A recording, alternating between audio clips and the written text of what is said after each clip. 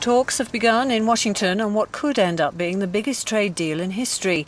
Negotiators from the European Union are in town to meet their US counterparts with the aim of creating the Transatlantic Trade and Investment Partnership.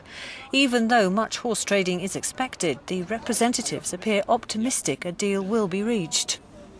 Yeah, I think we're high hopes. Everything should be fine. And I think it's a very huge opportunity for everyone. The so called TTIP comes at a time when Europe is worried about becoming less important to the US than Asia. But the idea of eliminating tariffs and harmonizing regulations appeals to groups on both sides of the Atlantic. And, you know, she... The good thing here domestically is that there's broad consensus on free trade in Congress and in the administration.